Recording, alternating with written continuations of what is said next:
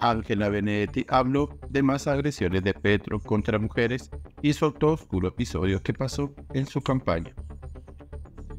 El presidente Gustavo Petro desató la semana pasada una nueva polémica en el país, luego de que en medio de una locución en el departamento del Chocó atacó directamente a las periodistas colombianas cercanas al poder, calificándolas públicamente de muñecas de la mafia las periodistas del poder.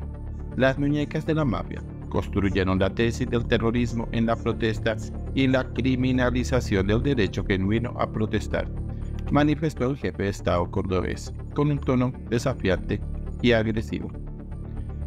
Estas declaraciones, como era esperarse, generaron bastante indignación en Colombia y varias mujeres, no solo comunicadoras sociales, se pronunciaron rápidamente en las distintas redes sociales para rechazar lo dicho por el líder del pacto histórico.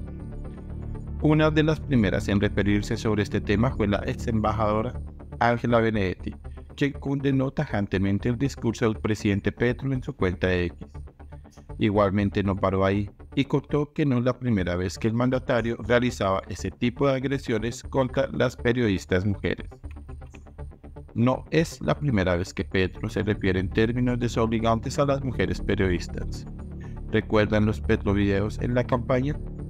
Ayer se ratificó toda mi solidaridad y admiración por las periodistas de este país, que por el solo hecho de ser una agresión contra una mujer me solidarizo y me identifico, precisó la abogada. Benedetti también señaló en un trino anterior que esas declaraciones eran una nueva cortina de humo de Petro y enfatizó lo de las muñecas de la mafia, obvio, es un insulto inadmisible con todas las mujeres. Y lo de Antonella, pues le deseamos lo mejor a esa hermosa niña. Pero no es un asunto de Estado. Lo que pasa es que Petro ya no sabe qué más inventar ante sus ausencias. Esta es la excusa de la semana, con olor a cortinilla de humo. Hay que mencionar que la mujer, que es hermana del embajador Armando Benedetti, ha estado bastante activa en las diferentes redes sociales, en las que ha cuestionado fuertemente al gobierno del presidente Gustavo Petro, a quien le hizo campaña en 2022. Incluso se unió a la tendencia fuera Petro. La abogada constitucionalista habló en exclusiva con Semana y reveló por qué se decepcionó del jefe de Estado y su esposa, la primera dama Verónica Coser. Nunca más volví a hablar con ellos.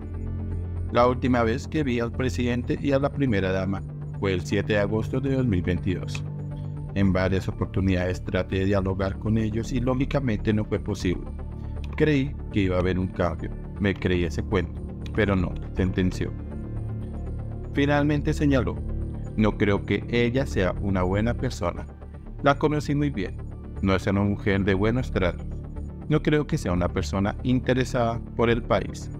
Jamás la hemos visto ejerciendo su labor como primera dama. Sus intereses no están en el bien del país, de la comunidad o un cambio. Me arrepiento de no haberme retirado de la campaña.